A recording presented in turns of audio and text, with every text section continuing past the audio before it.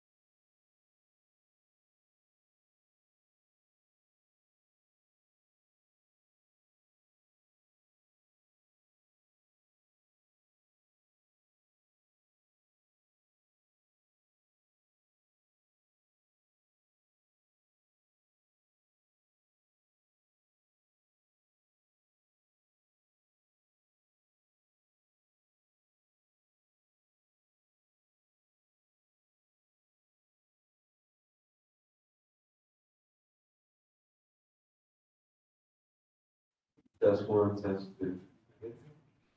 All right, well, everybody, welcome. And it's, it's official, this is our last time together in these candidate forums, so it's wonderful to have you here with us tonight.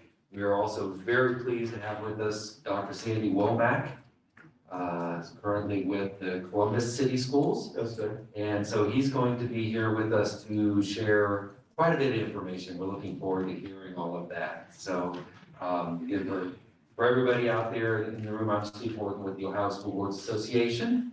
And it's been my pleasure to work with the board through this process. Uh, that, that, I, I think we're in the home stretch. So, um, with that said, as I've done every night, uh, although I think Dr. Womack knows a lot of people in the room, um, we'll start over here at the far corner um, and give you a chance to just introduce yourself very quickly. Kelly Taylor, I'm parent and alumni serve on PTA and other various boards. Pleased to be here. Good to see you. Oh, Hi, I'm Lynn Swoop, and um, final night, and for the, all of us that have been in the room for the four nights, I think you guys probably feel like me. We know we do this every night, we needed our own slideshow, right? Um, I am Akron alumni, graduated from Firestone High School. I am a parent of a middle school student at STEM High School. For the last eighteen years, I have been at Old Trail School um, with my children. I was on school board at Old Trail School. Still have one child there. Uh, she'll probably likely end up maybe at STEM also when she's done at Old Trail. Um, just happy to be back when I'm public also. Good to see you. My name is Andrea West. I am a parent and a Brookville uh, alumni. I Also serve on the PTA at Brookville High School as a secretary. Good to see you, Mr. West. um, football alumni, also, um, once again, parent, um, acting president of the, P- of football PTA. At this particular point. Been involved in various projects with that. Thank You you. do have a twelfth grader. Yes. Good to see you, Mr. West. Kemp Boyd, Executive Director of Love Akron, also head football coach at Kenmore Garfield High School. Good to see you, Mr. Boyd. Thank you for being here. Hello, Beacon Journal. Dave as well. Coach Derek, um, Akron Public School alumni, Kimball High School. Um, owner operator HY Academy in the city, um, training facility and also state wrestling official. Good to see you, good. Thank you. Alexis Schuler, um, I have one at Kenmore Garfield and one at Bridges, which is one of our alternative schools. And I am the Kenmore Garfield Cluster Advisor for the Akron Council of PTAs. Good to see you. Laura Dees, Akron Public School retiree, Project GRAD Founding Executive Director retiree. Boss, Hannah Holland, I'm with the National Inventors Hall of Fame and um, sit on the executive committee for the National Inventors Hall of Fame STEM Middle School and High School. Nice to meet you, man. Demetrius Falconer, mother of four, that have gone in and out of the system currently. The last one is at Miller South School of Visual and Performing Arts, and she's of community engagement for Summit Metroparks. Nice to meet. Thank you. Hi, I'm Nikki Palmer Hampton. I have three daughters. One is at Akron Early College and is a sophomore. I do serve on the Akron Early College PTA. And then I have twins. One is at Akron, uh, Miller South School for Performing Arts, and the other twin is at Our Lady of the Elm. Nice to meet you, man. I think we got everybody. Thank you all for sharing. And as we have done uh, every night, we are going to allow Dr. Womack to share with us his vision for Akron, and then we're going to dive into questions. So I'll turn the floor over to you. First of all, I'd like to thank everybody for coming out tonight. I know there's a variety of different places that you could have been in, but the fact that you took some time to come to hear what I have to say about my vision for the Akron Public Schools means a lot to me. Um, as you said, we can always get a little bit more money, but it's hard to find time. And the fact that you took time out of your day to be here, um, I'm appreciative of this. Um, on the slides, you can see, um, my vision for Akron is very simply this. We are Akron and we is always greater than me. Um, I do not believe in the great leaders theory, that great leaders do and great leaders don't. What I do believe is that great leaders develop a great team. And when you develop a great team, that always means that we is greater than me. I don't believe that one person can turn around or transform an entire educational school system. I don't believe that one person can turn around and transform an entire system to begin with. I believe what you have to do is create leadership and create teams and collaborations in order to make that happen. And as parents of the community, you are the most vital resource that we have here point blank, because if your kids don't come to our schools, then we don't have people to operate. Because the enrollment drives what goes on with funding, and it also drives what goes on with parent satisfaction. We need kids. It's important that we provide them with a quality education. As a school principal, I've always stated that it's important that our kids know a few things. Can they read well? Can they write well? Can they speak well? And most importantly, can they critically think? But as a building principal, it was my responsibility to do a couple things. Not only to make sure that that took place, but also to ensure that they had a safe and secure learning environment. I'm a parent as well. I have three daughters. And one of the things I've always tried to focus on with my principals is very simply this. Make sure that teaching and learning takes place every day to the best of our students' ability and make sure that those kids are safe. And I felt like as a parent, if you take care of those two things right there, that is a solid foundation. Because as a parent, I want to ensure that my kids are learning and that they're safe. And I look at it from the administrator role working in central office, as the principal is the mayor of that city. They're responsible for the things that take place within their spectrum or their span of control. As a superintendent of schools, it's my job to hold them accountable for that, working in a variety of different departments that I may be able to work with. So although I will not be teaching a class, it's important that I know that teaching is taking place. Although I won't be safety and security in the building, it's important that I know safety and security is taking place within your school. And I give them and work with them collectively with the autonomy, recognizing that we is always greater than me and we are Akron. So I give you that caveat because I'm a former elementary school principal. I'm at Lathrop Elementary School in Canton, Ohio. I'm a former middle school assistant principal at Jennings Middle School here in the Akron Public Schools, the dean of students at Glover's Elementary School, principal at Hartford Middle School, and the Canton City schools where we able to take the building from academic emergency to effective ranking, moving that school from an F to a B in the course of three years. We also developed specific community engagement partnerships by doing what we call the Hartford Collaborative Model, which was founded by a gentleman by the name of Mr. George Dunwoody, may he rest in peace. But as an elementary school principal at Lathrop Elementary School, we took that building from academic emergency, which was an F, and got it to continuous improvement over the course of four or five years. But we had a specific model that we used called a collaborative model, which meant parents were in our building, businesses, organizations, and I give you specific examples. When I was at Lathrop, we partnered with the Stark Social Workers Network. We partnered with Mercy Medical, I mean, not Mercy Medical Center. It was Aultman Hospital. We partnered with the Greater Stark County Urban League. We partnered with the city council person at that time, who was Chris Smith. We partnered with um, Fisher Foods and Iron Rock. And all of those companies came into our buildings at least once a month to sit down and say, what can we do collaboratively in order to make sure that the students that we serve are safe, that they're learning, and we provide them access to experiences as well as exposure. It was an elementary school principals, my students visited over thirty different college campuses. As fifth graders or as fourth graders, they were at Walsh University, they were at Malone College, they were at Mount Union, they were at Stark State, they were at Akron U, they were at Youngstown State. Because I'm gonna ask you a very simple question, if you see it on my slide. The question is, how many of you were told to get a good education by a show of hands? And you probably want it for your own children. But my question to you is this, what is a good education? So I don't know if you're allowed to talk from table to table or person to person, but realistically, in the next thirty seconds, what is a good education? So give you a few seconds to think about that, because almost everybody's been told to get a good education, but what is a good education? With the theme that we are Akron and we are greater than me.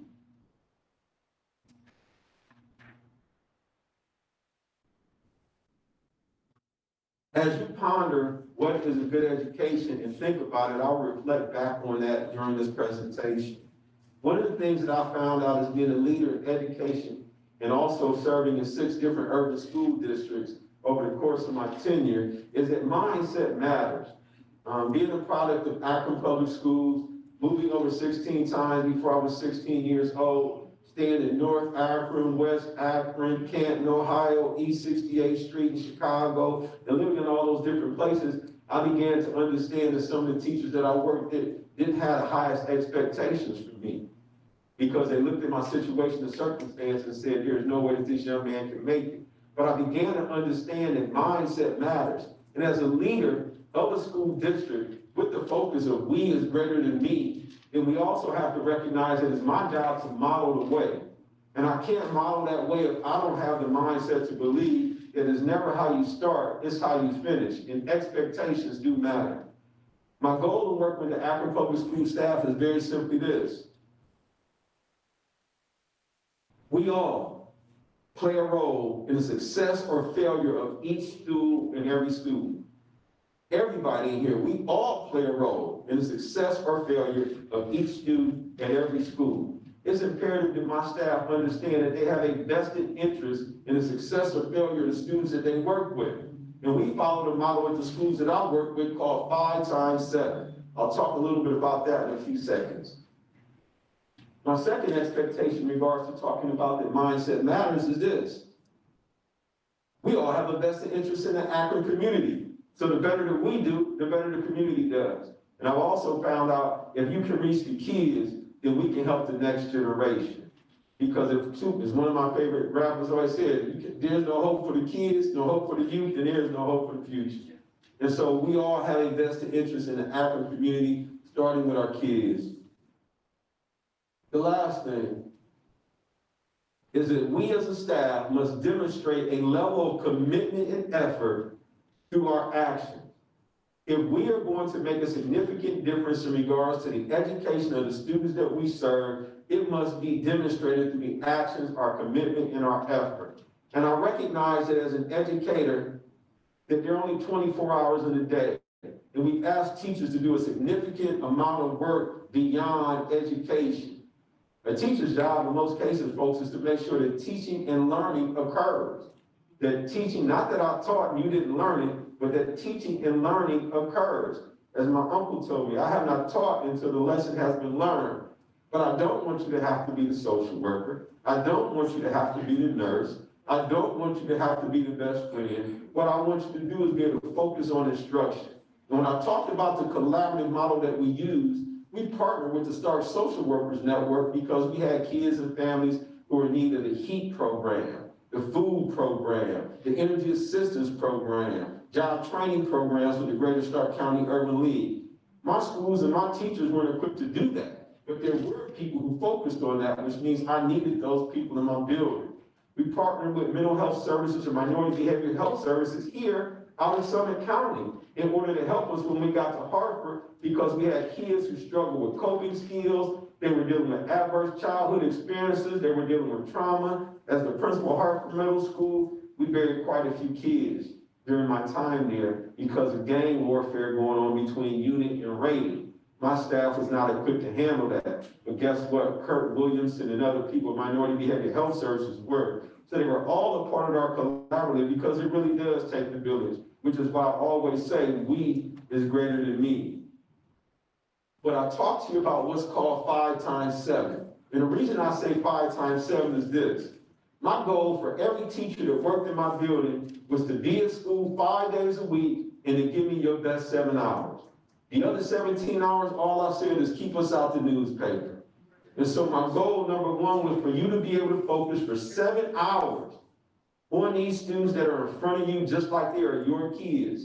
And that would be an expectation that I have for every principal that I would work with, all of our staff members, is to give me a commitment to the kids that we are serving on a day-to-day, five days a week, seven hours a day. And if you give me extra, I appreciate it because the difference between extraordinary and ordinary is extra. And I have some staff members who are willing to stay longer in order to facilitate and keep our schools open to do things that they were interested in. In order to make some of the transformational changes that we were able to make in regards to academic achievement in our schools, we follow the model that you see here.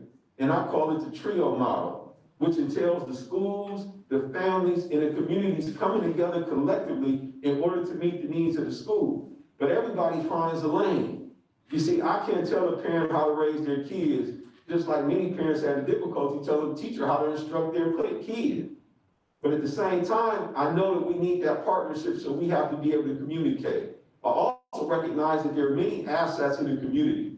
And so therefore, if we can get the hospitals, if we get the social service agencies, if we can get the job training programs, if we can get the social emotional health programs, if we can get colleges and universities, if we can get businesses, which of course, in many cases, Akron already has partnerships with, with the college and career academies. How do we get them to come together to utilize them successfully so everybody can play their own lane? But at the same time, keeping a focus on the kids that we serve. And these are the type of things that we have to do collectively, because as I said before, we is always greater than me. I can't do it by myself. My principals can't do it by themselves. But collectively, the staff members that we have focusing on this model will be able to help us improve the academic outcomes of the students that we serve on a day-to-day basis. And if you as parents are not happy with what goes on, you have choices today. You have options today. There are vouchers, there are charter schools, you can take your students elsewhere. So we collectively have to make sure that we demonstrate an effort each and every day that the success or failure of each and every one of these students and each one of these schools is directly reflective of the effort that we make each and every day to ensure that instruction is taking place in schools. I base this model on what I learned through Rutgers University. So when I became an elementary school principal, I was, I got it at twenty-nine, I took the job at thirty. So I was young. I didn't even know what I didn't know. But I went to the National Alliance of Black School Educators Conference, and Rutgers University was there. And the lady was talking to me about this community wraparound model. So they had a parent pantry, they had GED programs, they had financial literacy programs, they had housing help so the parents could learn how to get houses. They were doing all of these things in this elementary building. They were connected to a university, and so as a result of it, they were seeing phenomenal growth. And I was at a school where only two percent of the kids were passing the fourth grade math test, and seventeen percent of the kids were passing the fourth grade reading test. Over the course of five years, that two percent in math went up to sixty-three percent in math. Over the course of the next five years, that seventeen percent in reading went up to over seventy-three percent in reading. But I believe a lot of it was based on that community wraparound model because we were able to bring parents in and we have partners in order to deal with the social, emotional, and the job training and things that our parents needed. So my teachers could really just focus on instruction. And we have resources not because they came in, but because we knew each other by name. I know that's Bev Jordan. I know that's Joe Parrish. I know that's Glenn Watts. I knew them because we all worked together collectively and we met in that building every month in addition to what they were doing after school in order to support us. We carried that same model to Hartford Middle School and were able to keep that school open to eight o'clock every night i.e. what Akron Public Schools is trying to do with community learning centers in order to provide the programs and the resources necessary to ensure that the teachers could focus on teaching and those agencies could focus on what they did best in order to meet the needs of our kids. Public schools already has college and career academies. And one of the things that I say is many of these partnerships have already been started. You have Akron Children's Hospital, First Energy, Kent State, Goodyear, Applied Engineering, Bridgestone, Firestone, Key Bank, Huntington Bank, Summa Healthcare, um, Academy of Global Technology and Business. There are several partnerships that are already established in the college and career pathways. How do we leverage these partnerships in order to do something that I would like to see happen in Akron that I have not seen anywhere else? One of the things I think we need to do in addition to teach kids to read, write, speak, and most importantly, critically think, is to include financial literacy and investment education at the early ages, starting in elementary schools. Because if our kids can read well, if they can write well, if they can speak well, and they can critically think, if they know how to say please and thank you and yes, sir, and yes, ma'am, excuse me, and I apologize, and we equip them with the skills to have financial literacy and investment education at a young age, ladies and gentlemen, that sets them ahead of almost everything going on in the curve. Because I know a lot of people who can make money, but can you keep it? I know a lot of people who understand and have high-paying jobs, but their credit is so bad that they're paying twenty-four and twenty-five percent interest. And if we would learn at a young age how to invest our money, how we can become familiar with financial literacy, how we can balance a checkbook, what that looks like when you see a check that should be a thousand dollars, but they're taking out FICA, they're taking out Medicare, they're taking out Social Security, now your check is six hundred and thirty-two dollars, but you were budgeting on a thousand and didn't know it.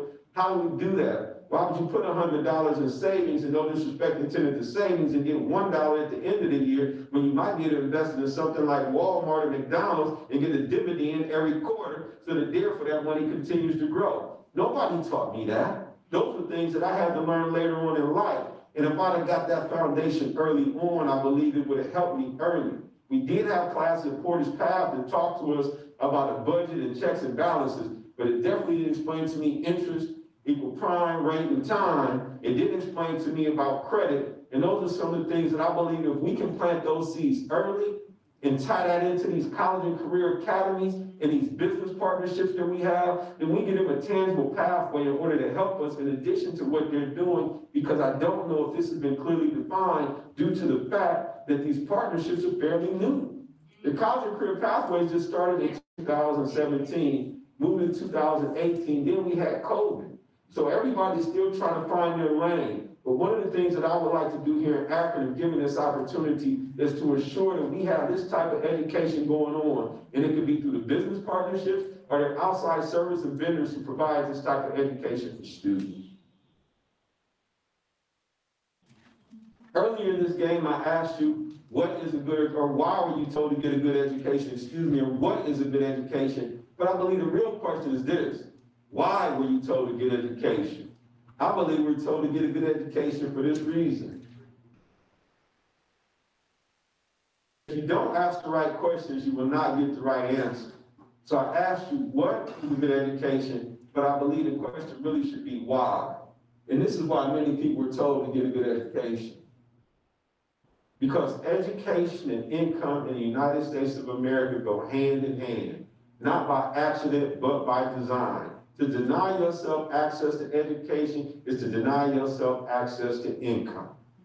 And as a result of that, that means that we need to equip our kids with a quality education. And I'm not saying everybody is going to college, but you need a skill, a trade, a craft, something beyond high school. But first of all, we got to get you across the finish line in high school. In the state of Ohio in 2015 was ranked 49 out of 50 states in regards to the graduation rate of African American students, with a 59.7% graduation rate. That's here in the state of Ohio. 49 out of the 50 states, Ohio was ranked, excuse me, Ohio was ranked 49 out of the 50 states in regards to the graduation rate for African American students in 2015. Folks, education and income go hand in hand, not by accident, but by design.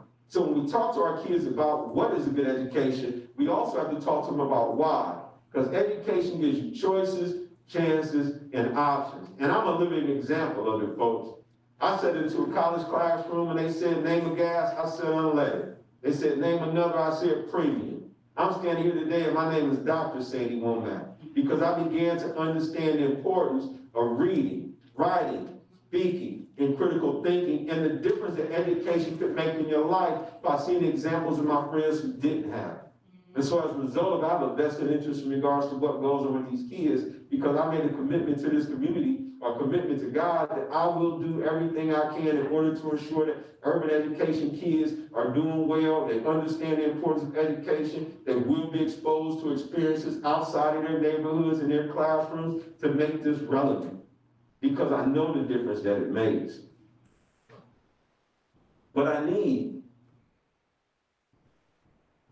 is equity, engagement, and working towards achievement, which is some of the things that the Board of Education and Akron Public Schools have made as tenets to their foundations or their pillars. But in order to address equity as an equity and diversity trainer for the last twenty plus years, one of the things I have to recognize is the first thing you have to deal with in equity is this. Acknowledge that inequities exist. We can't talk about equity, we talk about the inequities that are already occurring in regards to what's going on. And what I see in Akron is what's called a tale of two cities. I see schools that have hundred percent graduation rate. I see schools that have access to STEM education. I see schools that have access to AP programs. And then I look across the street and see a school that has one AP program, where another has six or seven, or a school that has no AP program. I see schools have higher graduation rates, or another school is graduating seventy-five percent of their students. We have to address the inequities that we see already within the system. And that's why I say we is greater than me because I can't do that by myself. That's going to take the schools, the families, and the communities coming together under a collective effort to ensure that our kids are getting the education that they need to be successful. But I also need this. We also need this, not I, we. We need feedback from the community stakeholders people like yourself in order to give us input on how we're doing and progressing towards our plan. Akron City Schools has created a phenomenal plan in regards to the college and career academies. I believe that it's a magnificent concept in regards to what goes on, but can it be enhanced? Yes.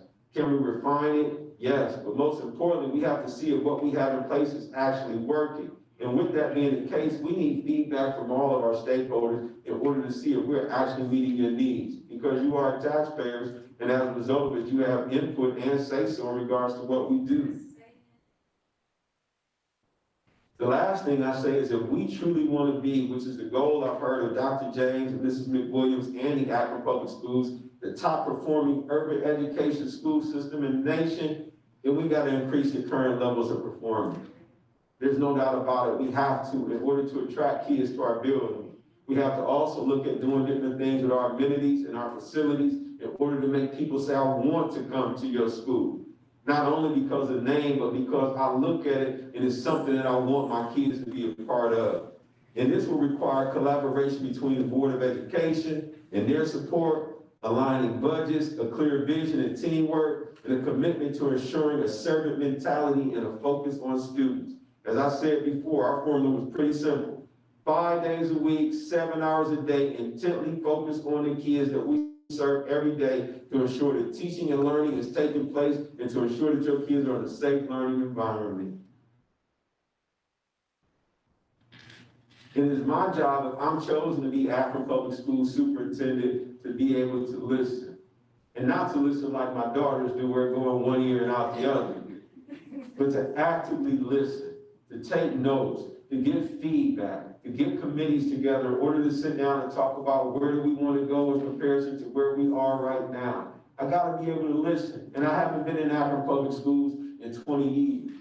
So I don't have my ear to the ground and know everything that is going on within this community or within these schools. I can do research, but that's only information on paper. I have to be willing to listen. I also have to be willing to lead and learn. The one reason I continue to go to school to get a quality education is because I believe I need to continue to learn more. When you stop learning, you stop living. So I'm learning more and more each and every day. And the more I know, the more I recognize I don't know. But I can't lead this district, and we can't do this collectively unless I'm willing to listen, and I'm willing to learn, and I'm willing to lead. Um, it's two thousand and twenty-one. It would be almost impossible not to have a slide to deal with the thing or the pink elephant in the room. COVID became a great revealer. We have kids who were not able to come to school for almost eight to nine months. We have some people who had access to technology and other people who struggled with connectivity. And as a result of it, we had to deal with learning loss. But the reality of the situation is COVID provided something in education that's probably been needed for the last 50, 60 years. We need to have some changes. We needed to find a way to adapt and adjust to the market and the customer that we serve. And that means we had to enhance our use of technology. And what we found out was there's new methods of instruction. Colleges and universities have been doing online instruction for years. It took public education to have COVID for us to focus on something that some of the charter schools have been doing for the last 15, 16 years. And although we may not have been able to do it as effectively as we like, we have to start providing professional development for those staff members who we may know at any given time may have to go back to this depending on how this virus spreads itself or whatever else is going on. So we found new methods of instruction, which require professional development for our teachers to effectively meet the needs of your kids in this environment, should they have to go back, or should they have to have a four-period schedule with one period scheduled specifically in order to do online instruction for those kids who chose to stay online. We have to put a priority on health and safety. Look at how you're socially distanced right now. When 2021, 2022 comes back, will we be able to have kids stacked on top of each other? Or will we only be able to have 20 kids in the classroom? What does that look like with staffing? What does that look like in health and safety and PPE devices? We have to talk to the people who are in those departments and CDC, Ohio Department of Health, and get input on what this is gonna look like for 2021, 2022. because right now, folks, we just don't know. And what we also found out with COVID, in addition to social justice and social activism, as a result of the things we saw when we were all at home because we couldn't go anywhere, we were under quarantine, is that Zoom, WebEx, Google Classroom became a new a new means of communicating with parents. We have parents who would never come into the school for parent-teacher conference, but they show up on a Zoom conference on a constant basis, and that was the way to have a conversation with their two-way communication. So how do we use this as a tool to engage our parents and get student voice? Finally, as I wrap up, let's see if this works here. Um, what I found in public education over the years that I've been a part of it is very simply this. Um, I've paid my dues, I've cut my teeth, I've played almost every role in public education that you can play. I've been a director of curriculum and instruction, I've been a director of school improvement, I've been a director of pupil services, and not only been a director, been effective in those positions. I've been a director of pupil leadership, principal leadership and development, the equity task force, the middle school principal, an alternative high school principal, elementary school principal, anything in public education you talk about other than superintendent, and I'm an area superintendent now, I've paid my dues. This has never been easy. That's why I say we is greater than me. Over the course of my lifetime in public education, what I found out is Sandy Womack not do it by herself. There's no way, shape, form, possibility it would ever happen. But I know when we come together collectively, we can make tremendous change. And I base it on my belief, and my belief statement comes from Dr. Ron Edmonds, who is the leader of the effective school movements, who said very simply, we can, whenever and wherever we choose, successfully teach all children whose schooling is of interest to us. We already know more than we need to do this. Whether we do it or not must finally depend on how we feel about the fact that we have not done it so far. Folks, that's about expectations. And Dr. Ron Evans was saying right there that the fact that we have not is nothing to do about the information that we have, it's the fact that we have chosen not to do anything about it. Final two slides. As a student at Mount Union College, I met a gentleman by the name of Dr. Ben Yohanan my first year in college. I was struggling. As I said before, name a gas, unleaded. Name another gas, premium.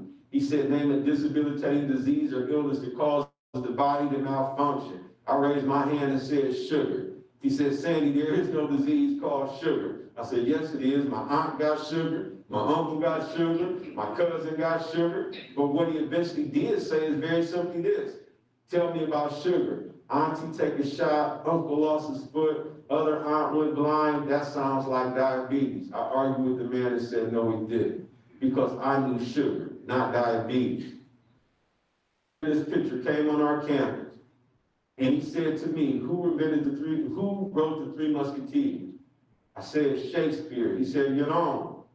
He said, who invented the light bulb? I said Edison. He said, Jerome. I said, you don't get ten thousand dollars to talk and don't know that Thomas Edison invented the light bulb. He asked the question, how did Moses know that he was wrong when he killed the slave driver? When didn't he bring down the Ten Commandments from Mount Sinai? I said, oh, my grandma didn't go get on you, man, because I know you're not challenging Moses.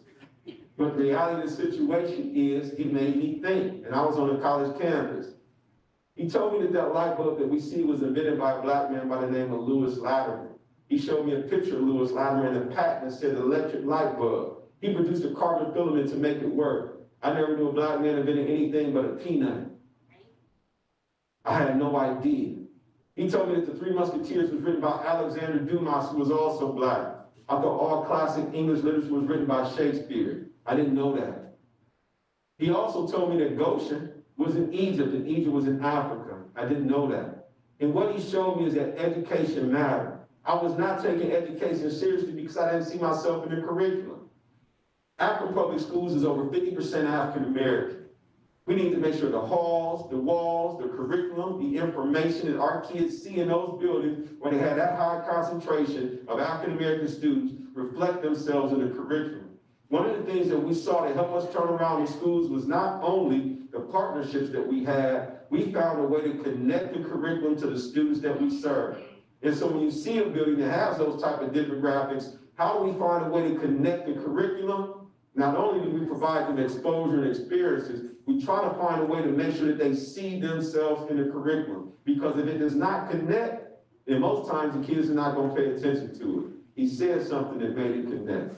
And that's why I believe it's very important that we ensure that we have a curriculum that connects to the students we serve. Finally, my why. My why is very simply this, before we get into it. My why is because I made a commitment over twenty-five years ago to do what my grandmother said. She said, Sanya, you just behave, you're gonna be all right. And that says a lot. And she meant that because she knew I had one foot in the streets and one foot in the school. And she said, I want you to just behave. And I made a commitment later on because of the situation and circumstance and say, Lord, if you get me up out of this, I promise I'm gonna focus on educating inner city kids to make sure that they understand the importance of a quality education and what opportunities and choices that it gives you. I live a lifestyle that I never thought I would ever experience. Not because I'm rich and wealthy, because I had the options and the choices to do things for my family I never thought I'd be able to do. Not because I'm the best person in the world, but because I had a quality education. The Lord blessed me and I began to listen to my grandmother saying to just behave. So my wife for wanting this position and to be able to come back into Akron is because this is where I cut my teeth. This is where I started. This is where Dr. Smalls gave me a chance. This is where Conrad Ott drove me back and forth in a Chevy Blazer to meet Dr. Barbara Smith and talk to me about the importance of what he learned as a superintendent. Didn't know why he was saying anything to me. This is where I went to Buchtel High School, Perkins Middle School, Findley Elementary School, Portage Path.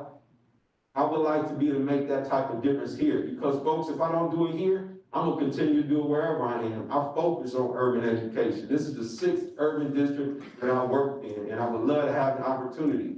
But as I said before, we is always greater than me, and it's not what is a good education, but why do we talk about a good education? And I believe it's important that everybody knows this. You to get it? This is called How Do I Know? And a lot of times when people hear the phrase, How do I know? The next thing they say is, What? How do I know what? The key really isn't to know what, the key is to know why. Because when you know your why, you have options on what your what can be. For instance, my why is to inspire people to walk in purpose. My what is stand up comedy. My what is writing books. My what can be going out with some friends to eat. In fact, another what that has moved me towards my why is a, a web series that we have out now called Break Time. So every Wednesday at three o'clock, you should subscribe to, to the channel. Uh, we do a series called Break Time on YouTube. So three o'clock, we drop a new episode. One episode in particular, I'm about to show you a clip to. We were in uh, we're in Winston Salem. So break time, this is how it works. I travel the country, I do stand-up comedy, probably an hour, hour and a half at an event. And in the middle of my show, I'll just sit down and start talking to the audience. And funny just happens. Or I'll meet somebody who's really interesting. So I met this one guy, and he said that he teaches music at a school. I was like, all right, you teach music, you know, um, can you sing? And then uh, I'm just gonna show you a clip. Check it. So your musical director? Yes, sir. All right, so um, let me get a couple. Let me get a couple bars of like uh, "Amazing Grace." Can you do the first part of that? Go ahead.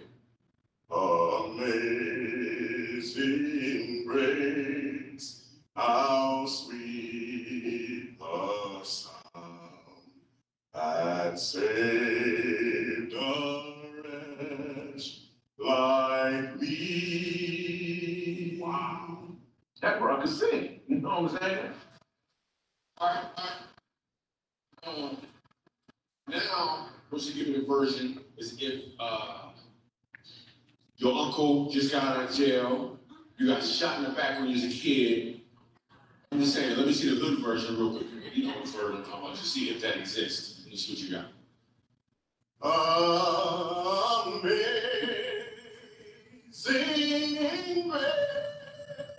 grace, how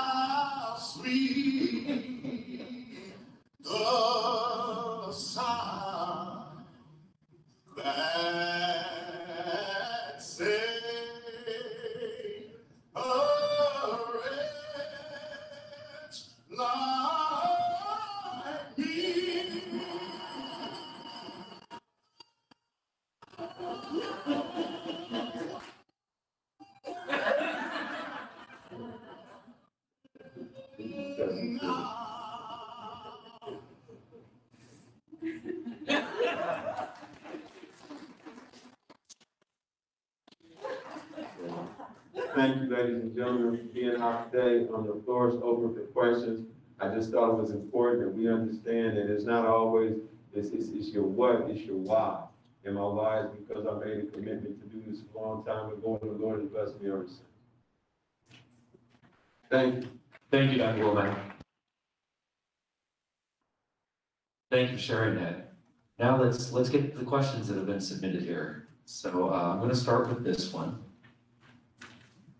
All of the buildings were redesigned as CLCs, community learning centers. How do you envision the role of these hubs realistically extending to offer health and social services, or arts, and cultural, cultural programming to the community in the aftermath of the pandemic? I think first of all, we have to be concerned about the safety and security and what goes on in regards to the health and safety of the students. Get information from the Center for Disease Control, get information from the Ohio Department of Health in regards to what we can actually do. That would be the first thing. The second thing is, I've already seen how this works. I've been blessed to have an opportunity at Hartford Middle School and Lathrop Elementary School, and most importantly, Hartford, to see what an actual community learning center looked like. Our building was open from eight o'clock or seven o'clock in the morning to seven thirty every evening from Monday till Friday. And what we actually had was social service agencies that were within our building. We had adult education programs in our building. We had after-school dance training in regards to uh, adult computer classes. We had Wednesday night Bible study. We had financial and investment literacy classes within our class brought in from people who were willing to work there in order to help support. As a master, as a matter of fact, um, had certain, or had church in our schools on Saturday at the Word Church, and he had Wednesday night Bible studies, but he also brought in a financial literacy piece for the people in the community because the building was open to seven thirty every night during the week. We also had access to um, adult computer classes, line dance classes. We had performing arts. Nick Spondale was teaching people how to play the guitar. Chuck Bosher was teaching kids after school culinary arts. Our buildings were open. And so therefore brought people in and we were able to use that as a hub. So I know what community learning centers can actually look like. But we would have to come together collectively to find out within every neighborhood what that looks like for those neighborhoods. Because I don't know what Innes wants to look like versus what Jennings wants to look like versus what Litchfield wants to look like versus what Hyre wants to look like. We have to be able to sit down collectively in those principles to meet your community stakeholders and say, hey, these are the things that we would like to see. How can we fund it? What is the process for people to get into the building? What are the assurances that are needed? And if there are some things that prohibit that, then find a way to take down some of those barriers that are preventing those buildings from being able to be used like they're meant to be used. I know what that model looks like. It changed our whole academic outcome. The alumni could come in, adult computer classes, classes for interest, chess club, in addition to the sports and the things that we had. BJ Rice Hubbard came in and did things for drama. Rashad Pope came and did things for music. We were able to keep those schools open. A church service on Wednesday, and then on Saturday morning, we were able to do it, folks. And as a result of it, we got through what was called the Eisenhower Full Service Community School Grant. It gave us hundred and seventy-two thousand dollars in order to keep our buildings open after school to do this. As a result, we were able to take kids to New York City, Albany, New York, Staten Island Ferry, Shadow State legislators and assemblymen, because we had a building that was open, it was safe, it was secure, we had a focus on what was going on, so I know what it can look like. And so that would be a matter of sitting down collectively with the people in the community, we talk it through, what barriers are in place, and how can we ensure that each school has what it needs, because they're all unique. And I don't know all of the schools, that's why I say, we is greater than me. Principals in that community have to say about that? How can those community partners be involved in that, and what does that look like? And That I would have to sit down and work with my team collectively, especially the people who are here, who have access, who has access to the budget, who have access to the resources necessary, and find out what is prohibiting that, and where are the examples of this possibly working? And being in Columbus and Cleveland Heights for the last seven years, I'm not as familiar with Akron Public Schools as I would like to. I come to a few Buchtel wrestling matches, or if there's an event for alumni, but ultimately, you know, I would need to know. But those are the things I envision, because I've seen a full service community school works, and I know what it can look like. And when you see it, you can believe it because you know it's possible. Thank you. The merger of the Kenmore Garfield cluster was not without controversy. What steps would you take to try to help unify those communities, knowing that they were once rivals? Talk to this gentleman right here who's coaching football and find out what that community needs. No, actually, I'd have to sit down and talk to the principal of the school, talk to the constituents and the parents who've been involved, get in contact with the people here who made the decision, and so that we can be transparent about how that decision was being made, and more importantly, sit down and listen. I don't know if we can change anything that's been done about it at this point, but at least give people a chance to be heard in regards to how they felt about what took place.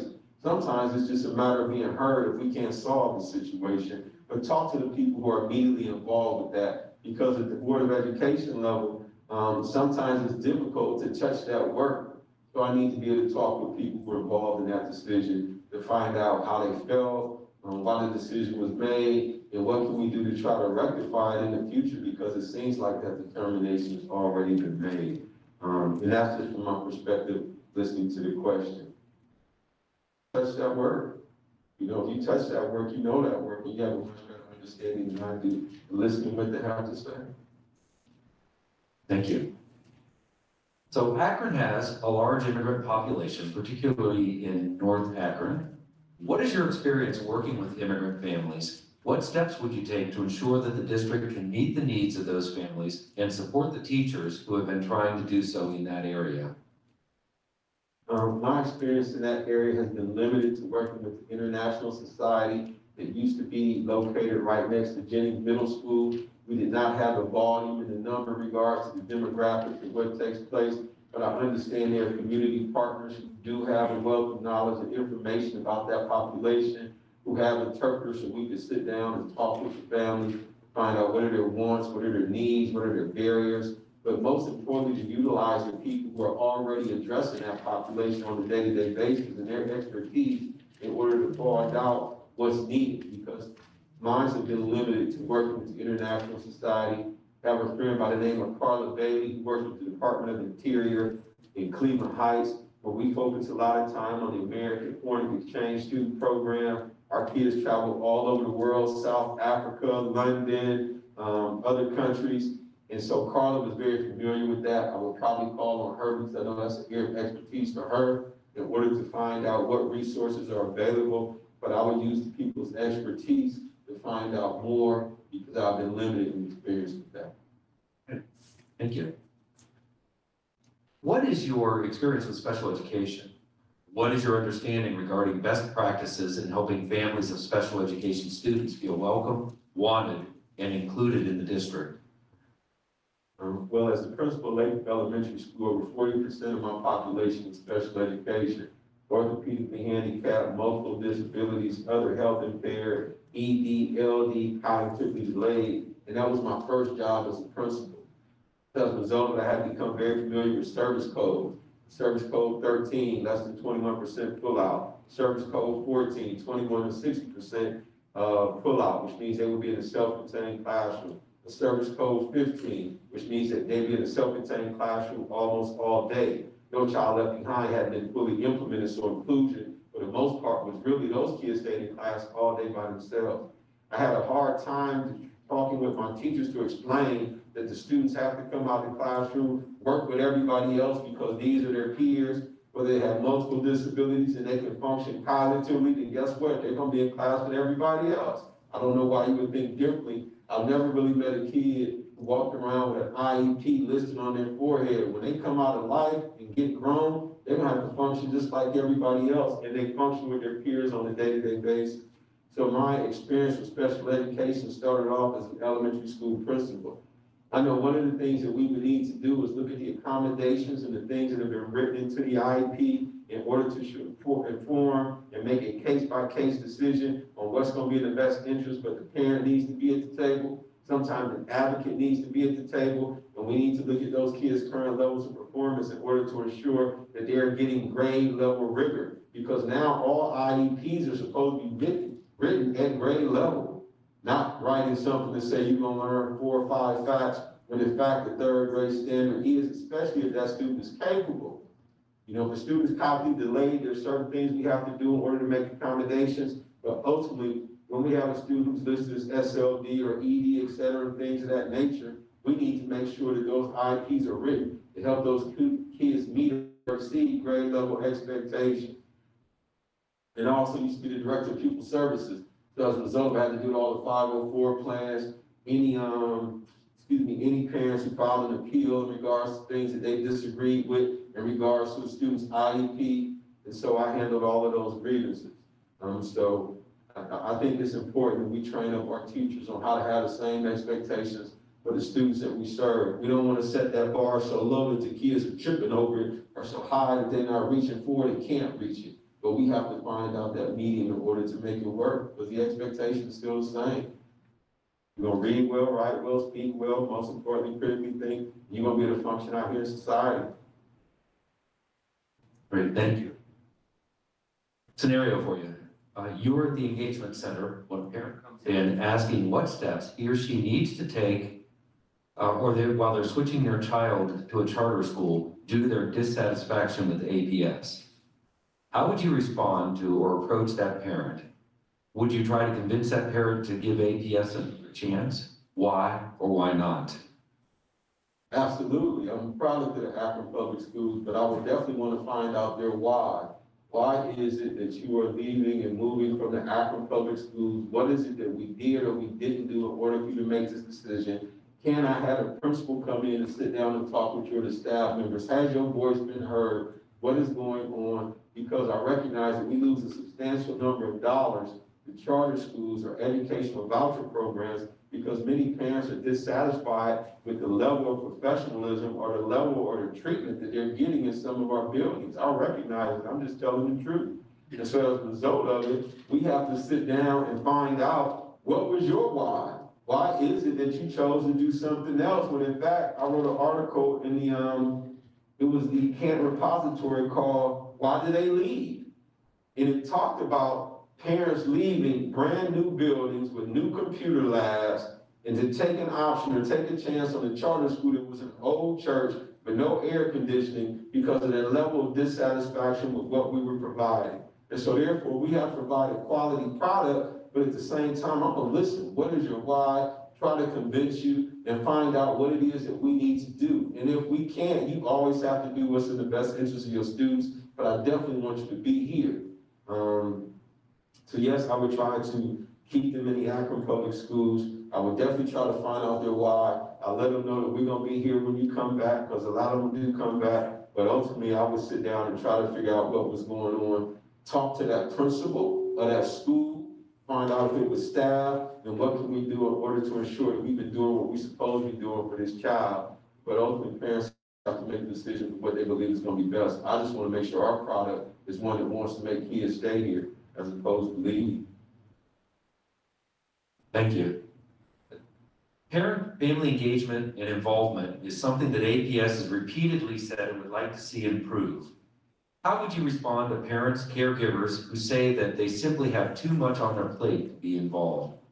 What ideas do you have for programs, resources, et cetera, to make APS more parent, caregiver friendly? Um, repeat repeat the first part of the question, Mr. Horton. Um, sure. Uh, parent-family engagement and involvement is something APS has repeatedly said it would like to improve. How would you respond to parents and caregivers who say that they simply have too much on their plate to be involved? Um, they're probably telling the truth. Got a lot on my plate too. I don't make it all my daughter's events and things of that nature. But what I would do is what I've seen happen is in the Canton City schools, we have what was called school community workers, who are people who live within the community, knew the community, had a vested interest in the community, and they help do things like alumni events or bring the alumni back to the school. We had cookouts at the beginning of the year. We had what was called the Hartford, um, the Hartford uh, Festival. And, and, and find out what it is that's keeping the parents from being in the building. But more importantly, what we decided to do is I'm going where the parents are at. If the parents feel uncomfortable coming into the school, or don't have the time to get into the school, then where can we meet you? What can we do in the community? Where are you at in order to meet you where you're at? The other thing I would say is because of the use of Zoom and technology, now we have the ability in order to meet parents in a variety of different ways. You don't necessarily have to come into the school, but I can set up a Zoom meeting and can get a link so that therefore we have the ability to talk. We can schedule those every week. We can schedule them monthly. Another thing I saw, one of the best superintendents I know, and I spoke about it before, is Dr. Talisa Dixon. And Dr. Dixon set up community cafes, so once a month, she would go into the community at the coffee shop, sit down, invite parents to come on in and have a conversation. She set up things with student ambassadors, so that therefore the parents, excuse me, the student ambassadors were able to have meetings with her in order to talk about discussions that would take place with parents. And we do the best we can in order to get them involved, because the reality of the situation is many parents are working, some two jobs, we're just coming out of COVID. So how can we use the technology that's available in order to enhance what they need? How can we get feedback on what the parents want from us? That's one of the first things we need to do. What do you want from us and how can we communicate with you effectively? So those are some ideas and some things that I think, uh, based on some of the experiences that I've had. Great, thank you. So in a world focused on STEM and a district centered on college and career readiness, what role do the fine arts and fine and performing arts play in the education of all students, not just those who attend the performing arts schools? Well, I would say everything is not for everybody. And for those kids who want to focus in those fine arts and all the things like that, we need to definitely make sure we have a resource available for them to do that. But I would say this specifically, at our elementary schools, we need to make sure kids are exposed to the fine arts, drama, performing arts, multimedia, instruments, orchestra, violin, trumpets. I learned to play trumpet in the fifth grade, added clarinet in the third grade. I thank God for those opportunities because it gave me a love for music. How do we get our kids to the Tri-C Jazz Fest? So therefore they get a chance to see these type of things. That's why when you say on my last slide, exposure changes expectations, it's the experiences we provide kids that change lives.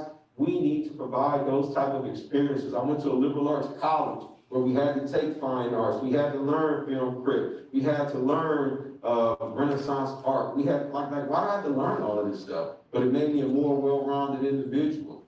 So I believe at the elementary level, we have to make sure we provide experiences, or excuse me, exposure to experiences that will change the lives and broaden these students' minds in regards to what they actually can be. You got the Tri-C Jazz Fest, you got the Cleveland Film Festival, you got, uh, performing arts stages that used to be right over there by, um, the Women's City Club. You know, you got the Civic Theater. Our kids need to be exposed to all of these things in order to be a more well-rounded individual because we're living in a global society. And our kids need to know more than just their neighborhood. So I think that fine arts plays a tremendous role because you find students who may struggle academically, but give them an instrument, they're fine. They struggle academically, but allow them to be in a play and a drama, they're fine. Give them a, a camera, they're allowed to make movies and do different things, they're fine, where they may be struggling academically. And I think everybody has to find out what works for them, and the only way we can do that as an educational system is provide experiences that will help them, um, do that. Great. We have time for one last question here. And that is, tell us about someone who was an important mentor to you and how they influenced your leadership style. Um, there's a gentleman by the name of Marshall Johnson, who was the assistant superintendent in the Alliance City Schools. He motivated me to go to graduate school and get my master's degree. The gentleman spoke seven different languages.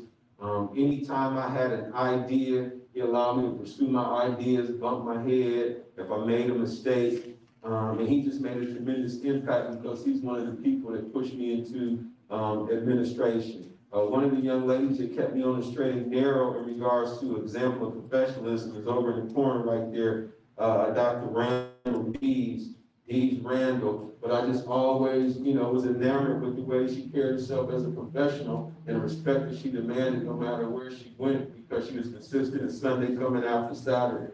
And so Marshall was probably the person who helped me when I was twenty-five, began to see the importance of where I could go and the importance of going back. He's the person that pushed me to go to graduate school in order to pursue educational administration. Um, and those are some of the people I think about off the top of my head who really made a tremendous difference. Womack.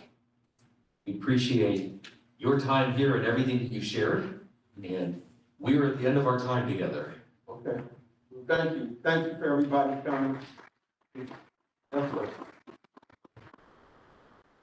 Thank you to all of you. You've been so dedicated in being here and meeting the candidates, and that has meant so much. Uh, so, uh, again, take advantage of the online surveys, provide your feedback.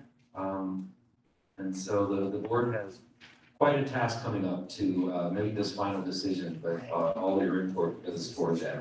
And have a great rest of the night and a great weekend. Thank you.